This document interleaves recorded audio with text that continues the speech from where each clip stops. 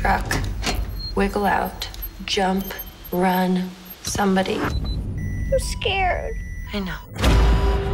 I'm gonna be there in your head talking to you the whole time. Truck. Wiggle out. Jump when the truck slows down. Run. Run. Somebody.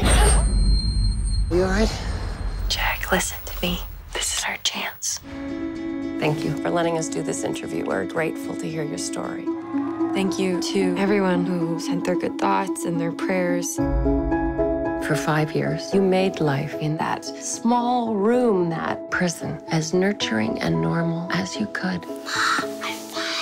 You're so old now. are so old now. Yep. Hey, do you know what we're gonna do today?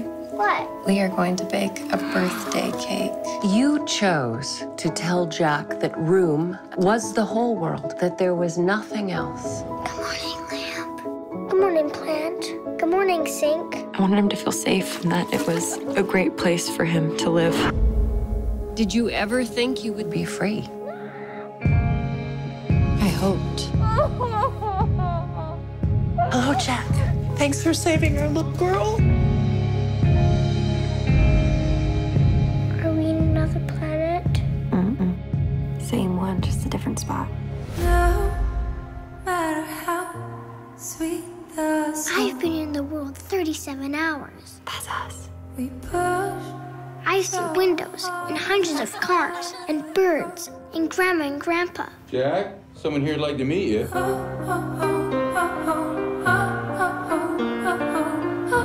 Will he find us? No, he will never find us. Everyone keeps asking,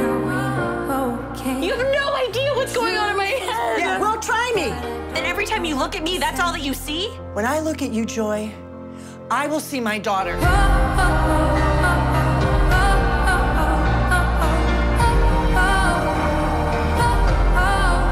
You're gonna love it. What? The world.